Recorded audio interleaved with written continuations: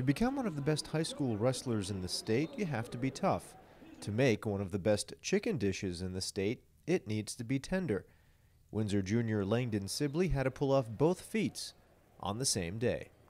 I woke up really early, like 5:15, and um, I weighed in at 5:30. Stepped right off the scale, got my got my chef pants on, my uh, my shoes on, and a nice shirt on. Drove straight from Albany to SUNY Morrisville. Before hitting the mat at the New York State Wrestling Championship, Sibley competed in the Culinary Arts Skills USA Regional Competition at SUNY Morrisville. Two high level competitions in two very different fields. I made um, chicken with creamy mushroom sauce with tourne potatoes and maple glazed rondelle carrots.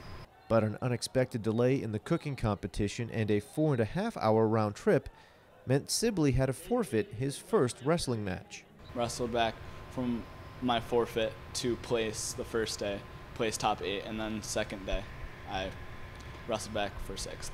With the circumstances that he was under, to wrestle back um, and beat three guys in a row, one a returning state place winner, I thought he wrestled really, really well. Sibley finished sixth in the state at 170 pounds and second in the Regional Skills USA competition one spot shy of the state championships. It's impossible to say whether the stress of balancing both on the same day and being rushed in the cooking competition had an impact. I would have liked to place at least one place higher in both. I would have liked to take first in my culinary competition and at least fifth in my um, cooking competition or in my uh, in states, but I'm somewhat pleased. Wrestling and cooking are two very different pursuits. On the mat, Sibley likes the freedom and responsibility of being the only person responsible for his performance. In the kitchen, I just like being able to like work with my hands and make something that's greater than the sum of its parts. Like butter and carrots and maple syrup by themselves aren't that good, but once you put them all in a pan together, they're way better than their parts.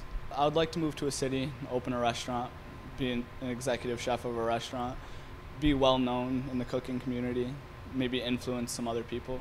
So, does Sibley have a specialty?